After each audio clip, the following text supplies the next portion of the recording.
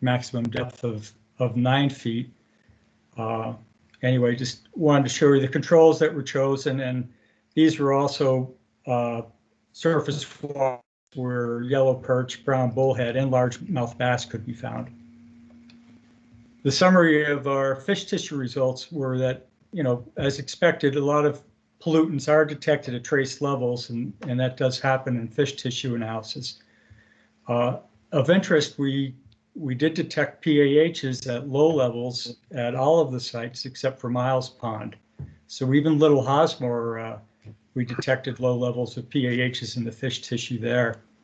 Uh, but the levels were so low that only three of the values from all the 75 fish that were collected were above what's called the practical quantitation limit. And this is this is once the value is above there, then you have confidence that that contaminant is even present. Before that, you basically the the data might not be used or it's it's uh, it's given a qualifier as a J. So what we did learn is that uh, PAHs, which most programs don't normally uh, even do analysis for because the fish generally will get rid of the PAHs very quickly. They don't uh, bioaccumulate. But what we did learn is that there's trace levels of PAHs in most of the fish tissue, and this is likely both due to both urban and uh, uh, natural settings uh, from, uh, you know, things like even forest fires could lead to incomplete combustion and some PAHs getting into the soils and sediments.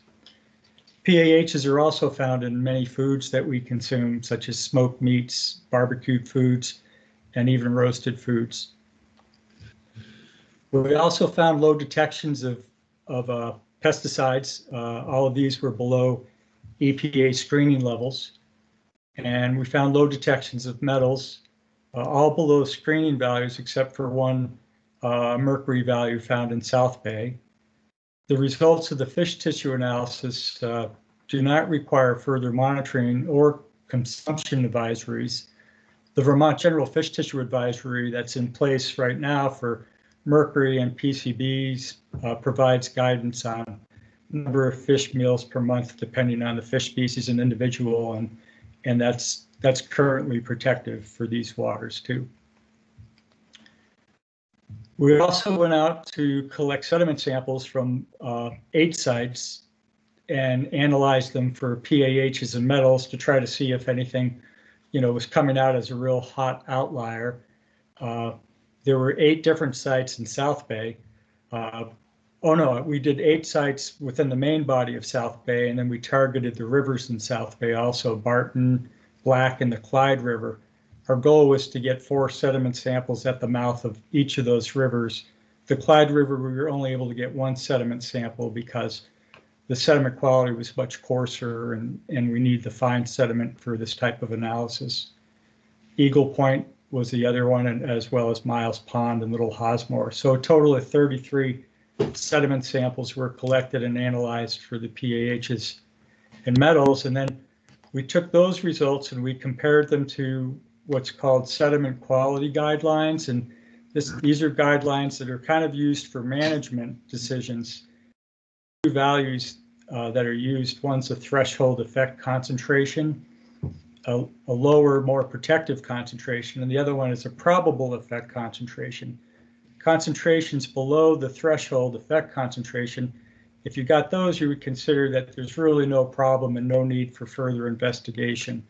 If you get levels that are above the PEC, then you know you might need to study the situation more and you know look at, at background and, so forth. It doesn't mean that there's an imminent risk to the aquatic resources, but if you saw values that were you know several order you know several times greater than the PEC, it would certainly be an indication that something was uh, you know in need of an explanation or more monitoring. So in South Bay, uh, a total of 17 samples were taken near the mouths and then in the main channel. The red circle on the far left is Hospital Cove. That's not part of South Bay. And our our sediment results for PAHs, and the good news was we we didn't see any values that exceeded the probable effect concentration at any site. South Bay had uh, sites that exceeded the, the lower TEC level for several PAHs. And then uh, metals analysis indicated that Hospital Cove and South Bay had several TEC exceedances, but the only uh, two metals that exceeded the PEC were uh, nickel at South Bay and Hospital Cove and chromium at South Bay. And these exceedances weren't that high. It wasn't like they were 10 times the PEC, they were just slightly above there. So none of the sediment results were significantly elevated, you know, compared to sites that are, you know, quite contaminated. The results were really reflective of the urban land use and in South Bay and Hospital Cove and past activities such as, you know, the railroad uh, activities within South Bay, I'm sure have led to some of the higher concentrations that we've seen. So uh, this, you know, fish tissue and sediment chemistry work that we've done, I think, uh, has shown us that South Bay and Hospital Cove do stand out from the other control sites, such as Eagle Point and the main lake of Magog and Little Hosmer and, and Miles Pond, as being uh, reflective of urban surroundings. The fish tissue analysis uh, doesn't require further monitoring or consumptive advisories. The causation of these lesions is still currently unknown.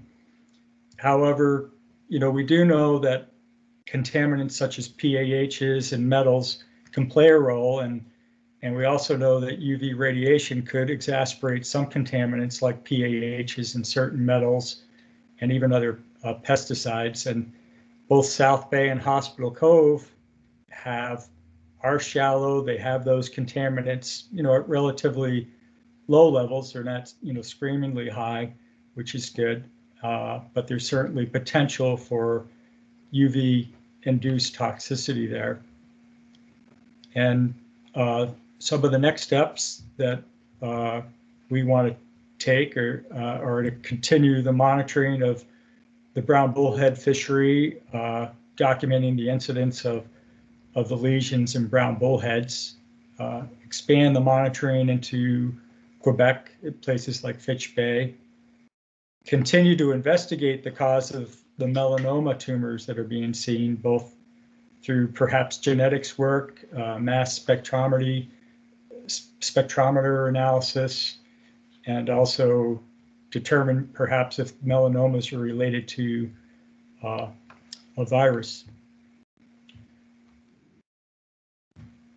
So that's our that's our quick talk, but we certainly have some supplemental slides and, and are happy to answer any questions. I know I ran through all of that pretty quick, but we were trying to trying to keep it short so that there'd be time for discussion. Thank, thank you, Rick and Pete, for those excellent presentations. I would like to introduce Elle O'Casey, who's the agency's Director of Communications, um, and she's going to help facilitate the, the question and answer portion of the agenda.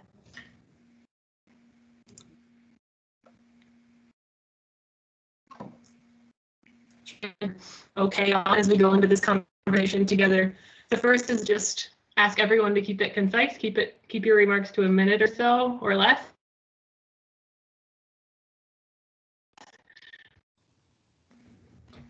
Elle, I, I think you're having some connectivity issues. I'm not sure everyone's able to hear you. We have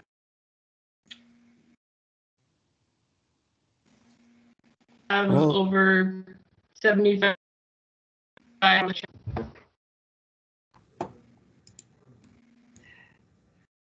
I will try to text Elle um, because I'm not sure she she can tell that she's having the conductivity issues that I believe all of us may be experiencing. Just a moment.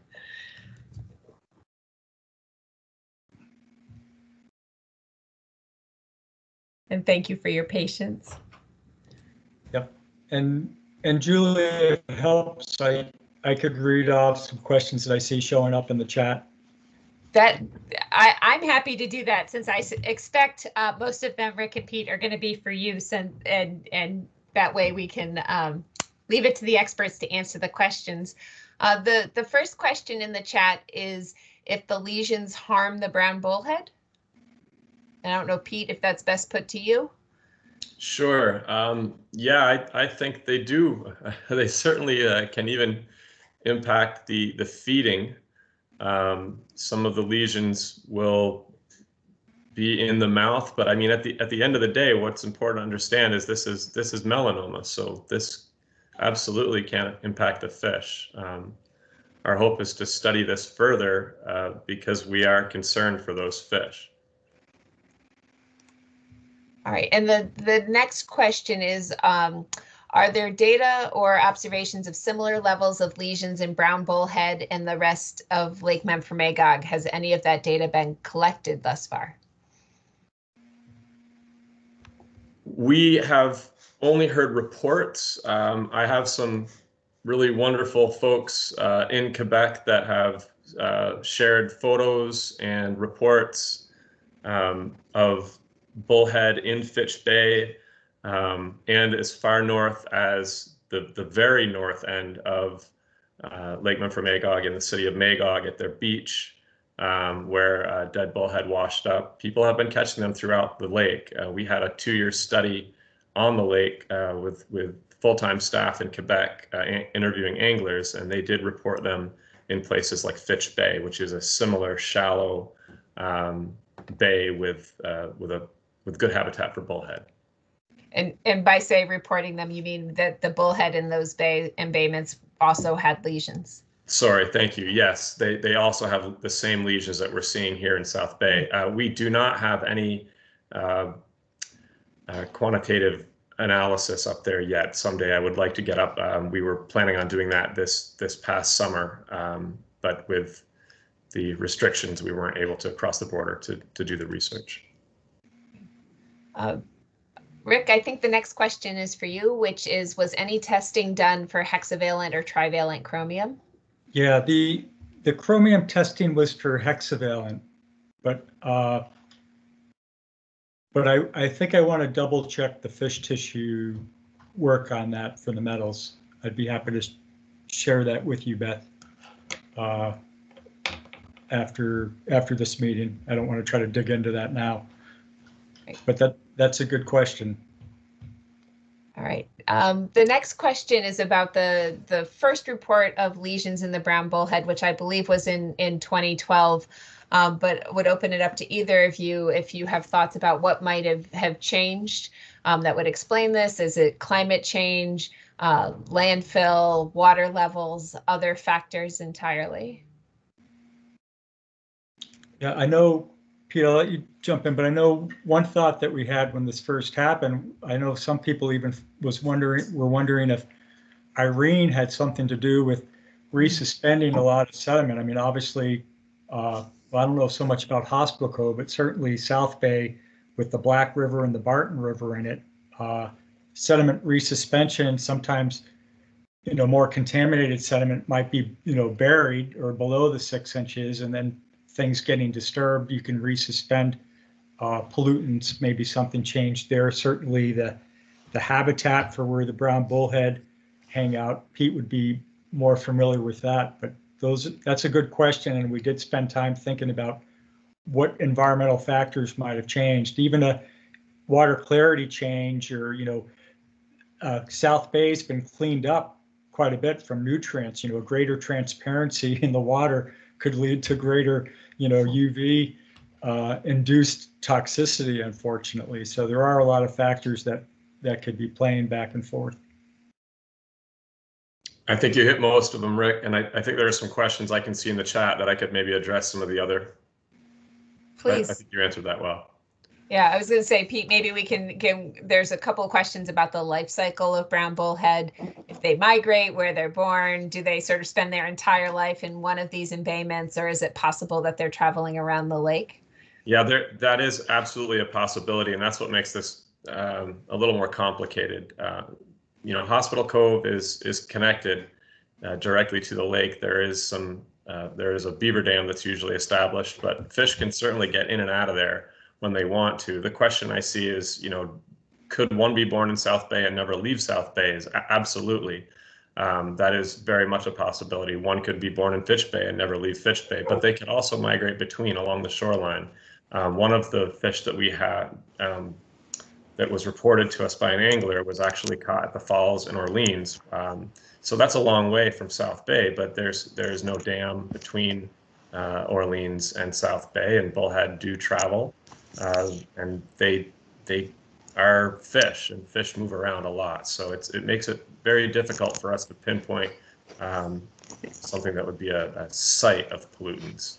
Yep, and Pete and I were just discussing, uh, well, earlier today and yesterday as we're kind of like stirring the pot on all the information that we've gained. And, and you're also kind of like looking for good news. I mean, it could obviously be sobering to see a high incidence of, of lesions on, on a fish, but it does seem that, you know, Hospital Cove and South Bay, these are the only two known high incidence sites, and they do have the attributes of being in shallow waters with a lot of soft sediment. And as Pete will point out, this is perfect brown bullhead habitat too. But we were even thinking like, what other locations do we have in Vermont that would fit the bill for something like South Bay or Hospital Cove? And you know, we were thinking a little bit of Burlington Harbor or maybe even or you know the Barge Canal or something. But there don't seem to be a lot of these type of you know setups for you know for shallow bay in an urban setting that might have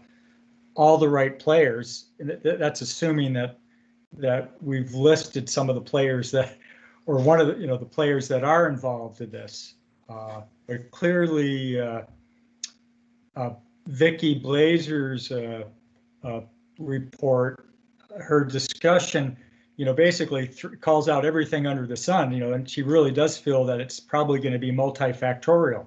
You know, it, if, you know, if, if a virus is involved, you know, it maybe it's a virus and UV, or maybe it's a virus and a PAH or metal pollutant or so forth. Uh, I guess what we have to go by is is where there's a lot of strength in the literature making different connections and then and then try to tease out our weight of evidence. And I've actually seen some things in the sediment chemistry, how it varies between South Bay and Hospital Cove, where I think it could allow us to maybe move forward and and and focus on other contaminants a little bit more significantly than others, because uh, PAHs were not an issue at Hospital Cove, whereas the commonality there are some metals in both of these locations that have in the literature anyway, been uh, correlated with with lesions. Interesting. Um, the next question, I think, Pete, is for you. Uh, are the lesion fish safe to eat, and what should anglers do if they catch one? Well, if you catch a fish with lesions, I'm not going to say they're unsafe to eat, but they don't look very appetizing. I, I frankly wouldn't eat a fish that looked sick, and these fish are sick. Um, that that said, the the consumption of a, a tumorous piece of tissue itself does not imply that you're going to get a tumor yourself. So I think that what we really focused on is we looked at fish that were healthy and we looked at fish that were unhealthy, um, and none of the resulting uh, analyte analysis suggested that these things were exceeding what we would consider unsafe to eat fish. So they are probably safe to eat, but we have uh, recommendations for people that might be more at risk for, uh, you know, young children, uh, women of childbearing age. We would recommend that they wouldn't eat a lot of meals of this. Um, I do recommend that people put those fish back when they catch them, though. It should be pointed out that we looked at other fish species because there are a lot of food spe- there are a lot of fish species present in Lake Memphremagog that are very popular food fishes. And we and want to encourage that because fish is a really healthy food in your diet, particularly something that can be caught right in your own waters. Um, I think that if we had done this testing on fish from the store, what you'll find is they probably have levels of a lot of these same chemicals that we're seeing present in these bullhead. So the the presence itself is something that's yes, it's alarming, but the the levels are not. And that's really important to understand is that fish is healthy. Don't stop eating fish and, and start eating a, a steak heavy diet because if you start looking at steak, you're probably going to find some problems with that too. Um, we, we encourage people to go fishing on Lake Memphremagog and eat the fish. And the- there's a follow-on question there, Pete, too. Are, are other uh, types of fish in Lake, Lake Memphremagog known to have these lesions? No, they're not. And in fact, this is a good question because there are other fish that have similar uh, behavior that that live on the sediment uh, on the on the bottom of the of the South Bay. Um, we have a lot of carp. There are sucker. Carp would live their whole life in that South Bay, just like a bullhead could. And we do not see these on the carp that we handle. Um, we have a lot of minnow species that probably never leave South Bay. We look at minnow species. We don't see these lesions on minnow species. We didn't see them in the perch or the bass that we sampled. Um, it's it seems to be isolated in the bullhead, and that might lead you to say that there's something besides just a contaminant issue going on, and that's where the multivariate questions come into play, and things as simple as genetics. You know, is there something going on with a strain of bullhead? We have a lot of questions that we want to answer, and I think this project is just getting started. Uh, Rick, there are a couple questions I see for you. Uh, one is is about VOCs and PCAs, and I'm hoping first for the the lay among us, you can identify what those acronyms stand for, um, and whether or not uh, we've been testing for those and believe that they could be implicated in the brown bullhead lesions. Um, and then there's also a question of if we're seeing any if we've done enough monitoring to see seasonal effects on any of the different um, contaminants that you've been looking at. Right. So the first, uh, the first question was about VOCs, the volatile organic uh, uh, contaminants. I didn't hear the second acronym. P- PCAs. PCAs. Yeah, I'm not, I'm not sure what that acronym is unless it's the per, maybe they mean, maybe it's the, the PFAS, perfluorinated compounds. PE, that would be PFCs. So yeah, I'm not sure of the second one, but uh, we, we did analysis for, I think, 17 different PAHs, the polyaromatic or polycyclic aromatic hydrocarbons, and some of those are uh, semi-volatile organic compounds. So we included those. Uh, but I'm not, I'm not sure what the other acronyms was.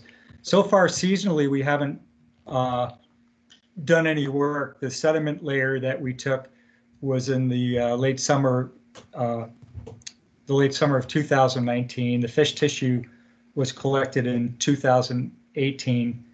Uh, the sediment layer that was collected represented the first six inches of sediment, which we believe that's where most of the aquatic uh, life interactions occurs in. So it's sort of the most relevant for exposure. Uh, I don't think that would be affected too much seasonally. Water chemistry could be affected seasonally. Obviously, uh, different activities going on depending on anaerobic or aerobic activities at at that layer. Uh, but I'd be happy to share the analyte list, which uh, for for sediment was about 17 PAHs, and and then it was the priority metals, which represent uh, 13 metals, and some of those are, you know, we call them priority metals because they're they could be uh, of of concern for human health risk or environmental risk. But they're also one thing about the metals, both in sediment and fish, is you know these metals are naturally occurring. A lot of them are are in the Earth's crust at big levels, like something like nickel. So it's not. It is important to recognize that these the expectation is to find these in the sediment. It's just at what concentrations you find them at. And maybe maybe building on that point, Rick, there are a number of questions um, from landfill leachate to the railroad to the historic ag use, and Sure. wondering that people are wondering if if any of those, um, if any particular land use activity um, has been particularly um, shown to have have a connection with the the types of contaminants you're seeing in the lake. Right. I think I think so far, uh, the two types of pollutants that that I was discussing in the sediment chemistry results are the PAHs and and different priority metals. we're, we're associated with both the urban surrounding land use and the railroad activity, but I don't want to call the railroad out. Uh, Most, a lot of that sediment was remediated, but I think the fact that we, we found a one kind, you know, one sediment sample that was above the PEC for chromium, that it's possible that that could be overlaid with past activities there. They're, the cleanup levels that they uh, designated for that project are, are different and might, might have even been higher than the PEC. I'm not suggesting that it was just sort of like a management decisions were made on how much sediment could be cleaned up. But still, what we found in, in South Bay with our sediment work, I would, I would certainly say is not representative of, of high levels. They're more reflective of past activities and, and urban land use. We have looked at, at surface water monitoring from the landfill, the required surface water monitoring that they do. And one of the sites is the Black River, where they monitor above and below the influence of the landfill. And uh, I was recently reviewing that data again. I'd reviewed it uh, in the past. I think they do two samplings, two seasonal samplings a year. And there weren't any pollutants in there. They do, I believe, the full priority pollutant screen, which might be 126 pollutants, but they also do priority metals. And there's there's a lot of different metals that you could call surrogates to what you might expect to see from a landfill coming out, even something like zinc. And uh, there haven't been any indications that any of those uh, landfill associated type of pollutants are in that surface water monitoring. So uh, nothing, nothing that's stepping out as a as a contaminant of concern. Uh, same thing goes with the the PFAS and the leachate that's being uh, sent to the Newport City land uh, Newport City wastewater treatment facility. The monitoring there on effluent concentrations uh, basically indicate that after uh, dilution of the Clyde River, that the levels are below the 20 part per trillion uh, uh, some of, of the five regulated PFAS in Vermont currently. So you'd really be down into the single, single numbers of parts per trillion. And I have spent time looking in the literature for PFAS, if there's any relationship to that and, and fish lesions or tumors. And, and there's not, you know, our greatest concern with PFAS or some of the PFAS in particular are the potential for them to bioaccumulate in fish tissue. And we're watching, we're watching and doing mo- the, the right type of monitoring to ensure that uh, that risk doesn't take place, or if we reach that level of risk, that we'll, we'll make sure that we monitor the fish uh, and work with the Department of Health to, uh, to put any advisories in place that are needed. Uh, Pete, I think this is probably a question for you. Is have there been elevated incidents of brown bullhead lesions in other lakes in Vermont? Not to our knowledge, no. Um, we have seen other types of, well, let me be clear. There haven't been other types of uh, lesions that have been identified as melanoma. There are other um, melanistic spotting on bass. There are some lakes that we see that. We see that in Lake Memphremagog. They see that throughout the country, actually. Um, and recent literature is, um, has pointed to a new virus or a, a newly identified virus in, in the bass, the smallmouth and largemouth bass. So we do see very infrequent, but we do see spotting on bass, and I get reports, but they're not raised tumors like we see in the in the bullhead.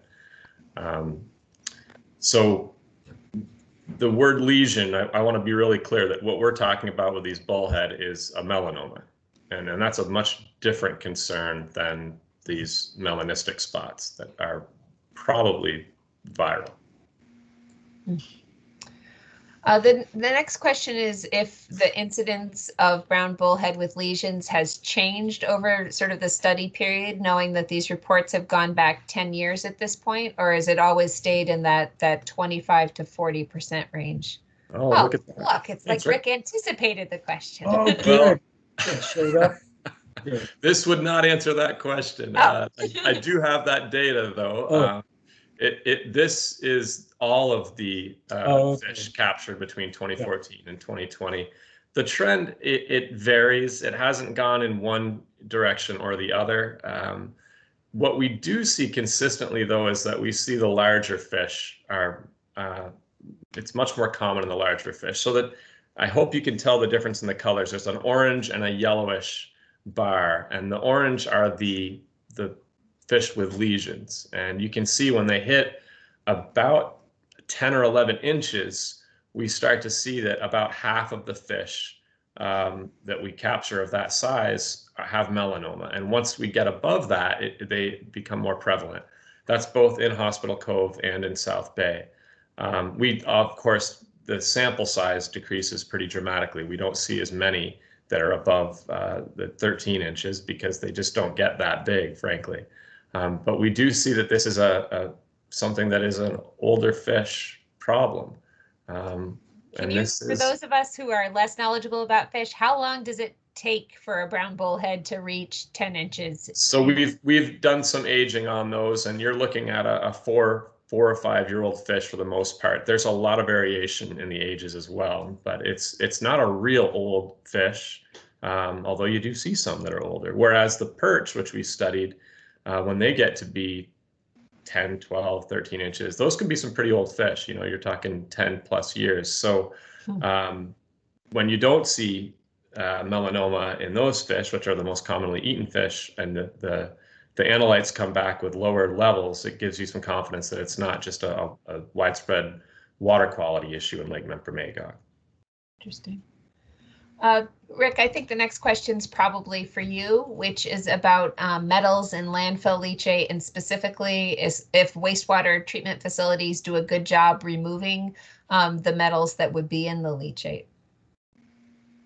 Yes, I I, uh, I don't want to, I don't want to speak as a, as an expert on wastewater removal, but my knowledge is that uh, much of the metals are absorbed to the sediment in the wastewater facility, and then they're, they're, or into the sludge of the sediment. So there is good removal rate on, uh, on the priority metals.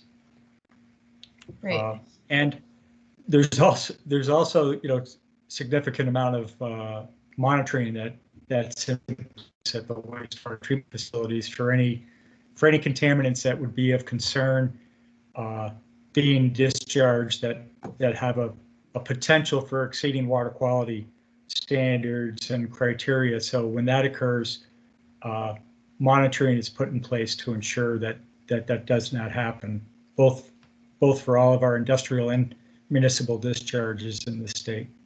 PFAS is, is the contaminant that's sort of breaking the mold and, and that it, it, it really does resist getting treated and removed in our wastewater systems. And that's why uh, we're up to the challenge of, of treating this a different way and, and making sure that, that uh, the amounts of leachate that, that pass through a facility are, are not too great. Uh, one other point of clarification I'm hoping you might be able to provide. You've mentioned a couple of times about um, urban soils and or or that this is considered an, an urban area. And just uh, can you give a little bit more background on on what that that means and and why Sure. it's not unexpected to see some of these contaminants?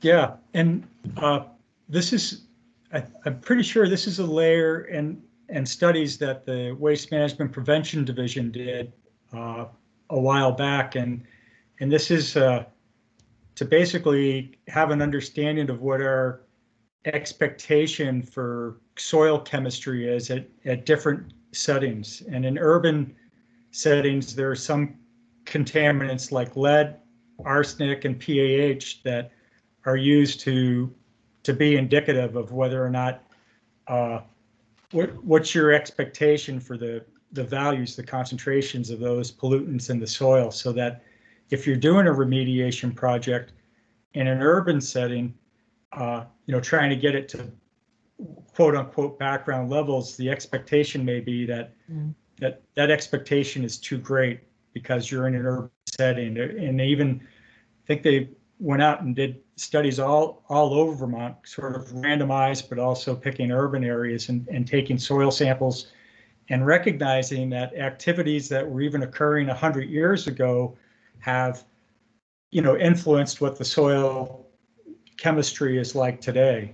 So what that means is it's sort of like what is your, you know, what's your ex, expected background level at, in an urban environment? We're not talking about a hazardous waste site where you know where something more significant happened. We're talking about normal, you know, automobile, wood burning, you know, and and certainly our past history in the last hundred years, we had gasification plants that might have led to more of these, you know, pollutants being uh, burned or you know combustion, and thing and as such things like lead and uh, and petroleum uh, hydrocarbons are going to be at higher levels in these areas. Uh, it doesn't mean that we're looking the other way on on what the potential health risk is. It just means that we're being uh, more realistic about what background levels should expectations should be. Thanks, Rick. That's really helpful. I see we have one more question in the chat and then one person with their their hand up. Uh, the the question in the chat, Pete, is another one about fish consumption advisories. Um, and I think you spoke to this a little bit, but can you, it, it, whether there is one for Bullhead and Lake Memphremagog and just sort of best practice around fish that, that have uh, some sort of visible illness, whether it's lesions or otherwise? And Pete, Pete, do you want me to just start off with like, I could, I could speak to the Vermont General Fish Tissue Advisory and. Yeah, go ahead, Rick. And it- it might, it might not have been clear, but the, the evaluation of, of the fish tissue from yellow perch, brown bullhead, and largemouth bass from, from all of the sites where we sampled. uh, When I, when we say that some, you know, trace levels of some pollutants were found and, and that's an expectation for, for, uh, for fish. Like I said, there's a lot of metals where that's the expectation. A lot of, there's trace metals that are actually, you know, good for nutrition as long as they're at the right the right level. Uh, but the review of that uh, data indicated that the that the Vermont General Fish Tissue Advisory, that's a statewide advisory out for mercury right now, would be protective of of consumption of any of the fish that are in that were in any of the locations where we sample. And that's such that if you look at the the fish tissue advisory for mercury, like for instance, it's by species. So you'll see yellow perch, and I might get this wrong, but this is just an example. If you're an adult, your yellow perch, you know, you could eat four fish meals a month, and if you can eat up to four eight ounce fish meals a month, that's that means like there's no restrictions. That's there no advisory would be needed. But if you went and you looked at women of childbearing age or or children for yellow perch, it might say two fish meals a month. So you can eat two yellow per, you know, two eight ounce yellow perch fish meals a month and not have any risk of, of taking in more mercury than, you know, that would, that would pose any additional risk to you. So the vent, the, the general Vermont fish tissue advisory for mercury would, would be protective. And that's basically, everybody should be using that for fish that they consume. If you're, if you're an adult male, it could be that there won't be any fish consumption restrictions at all for any fish, but you might see that lake trout, you know, it might say limit your or walleye, it might still say limit your fish meals to two eight ounce fish meals a month. And we could we could share that advisory. It's actually going to be updated again in uh, another year or so with the new uh, data set from uh, fish that were collected from Lake Champlain for mercury analysis. Yeah, and the, So it's and the- kind of like, it's, it's as though the mercury advisory trumps anything that, that we see here. It would be, Mhm. it would, it would be like a set, there's no need for any additional uh, advisories. And a lot of the pollutants that we are looking for are normally looked at, like PAHs generally aren't looked at in fish tissue unless there's been a big oil spill or something. And that's because when the fish do take them in, the fish uh, basically excrete any additional PAHs out so that they never they never get up to a high level in them, which is different than than us talking about brown bullheads being exposed to PAHs in the sediment. that's a different type of exposure. You know, they have very dermal skin. But as far as a brown bullhead taking in PAHs in their in their bodies and so forth, they're they're going to metabolize it and they're going to get rid of it. But it's during that metabolism that might cause the hardship for them. That hmm. actually is when they metabolize the contaminant. That's when the contaminant exerts its influence on damaging the DNA and and and have and maybe manifesting itself in a, into a tumor or a lesion. Yeah, I I think that's a, a really good point is that what makes this a, a difficult fish to put a, a further advisory on is that we don't have any evidence that the, the analytes that, that we would consider putting a, a further restriction or a further consumption advisory on, they're not present uh, according to the work that we've done. So, you know, we've we've had discussions with the Department of Health. This wasn't a, a huge sample size, so there was some talk about expanding that um, and getting a larger sample size and, and, and analyzing maybe perhaps more chemicals. But it's very difficult to look at something like PAHs and say we need to put um, uh, a consumption advisory on it because they do metabolize and they excrete this stuff, and that still might make the fish sick as it passes through them, but it doesn't mean that there's enough of that that's going to make you sick. So while it is a little unnerving and why we do say, hey, you know, you look at that fish, you see a sick fish, wouldn't recommend eating it. I would say the same thing if you shot a deer. Be, be wary of an unhealthy looking animal if you're going to eat it because it might not just be a chemical that you're talking about. It could be viral. It could be a parasite. There are a lot of other things. So we're we're just saying use. We don't need to put a, a, a further restriction on this because it it would potentially give people the false impression that eating perch and other fish from this, you know, salmon, trout from this lake is, is not a good idea. And um, there's nothing to suggest that that's the case. recognizing that we're we're just about end of out of time. Uh, there was one question just about it- plans for continued study of this issue, um, and I don't know if if either of you want to speak quickly to that. Yeah, we will continue monitoring the, the incidence rate. Um, we would like very much to, uh, to look at causation, to really dig in deeper in a, in a different way than we have so far. We want to look at, we have a lot of genetic uh, tissue samples that have already been run. We want to actually analyze those. This is something that would likely have to be contracted. We don't have a lot of people um, in, in the department or in the agency that can, that can do that kind of work. Uh, it's it's research level work that we would probably have to go to a university or someone like Vicky again at USGS. Um, we also are there are a couple of other uh, methods that we'd like to try, uh, and and there is some a pretty solid amount of research right now that's indicating that a lot of these kinds of things might be viral, um, and and that there is some work that we can do um, in the very near future. I hope to try to figure this out. Thanks, Pete. Uh, Peggy, I've seen your hand go up and down several times. If you'd like to unmute and ask your your question to close us out. Thank you, Julie. That's great. Um, just, just to say, I've been reading a lot in the research and around the world, um, when brown bullheads are found with lesions, they are found in contaminated water. And so, um, you know, Pete said earlier that um, these sampling's been done between 2014 and this year, and that 25 to 40 percent of the sampled fish, uh, at least by visual exam, had these lesions. And so it, that seems to say that there is a concern about environmental contamination in the water that is current. And um, I guess, you know, I was the one that made the, I said PCAs instead of PACs. So VOCs, PACs, and PAHs are all implicated in these other places in the world where these lesions occur. And, um, you know, so I just, yeah, I'm, I'm happy to hear that you're going to be continuing to, to try to figure this out. Thank I you, agree with what you said, Peggy. Thank you. Yeah. Yeah.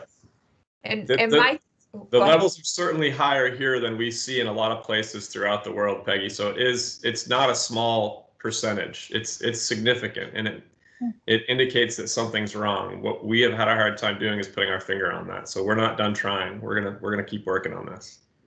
Thank you. So I would like to uh, close this out here and thank all of you for making time to be part of, of the session this afternoon. Um, I host a discussion about every other month. The next one is scheduled for February 23rd, and it's going to be focused on what I would refer to as the agency's tools and rules um, that may be of interest to Vermonters looking to build a, a single family home or some other similarly sized construction projects. So hope you will watch for the announcement. I'd like to thank Pete and Rick for their great presentations and their their answers um, to so many. Um, if we didn't get a chance to get to you this afternoon, please feel free to to reach out. Um, maybe Rick, you could flip back to the slide with your contact information at the end. Um, and thank you for joining us this this evening and wishing you all uh, good health. Thank you.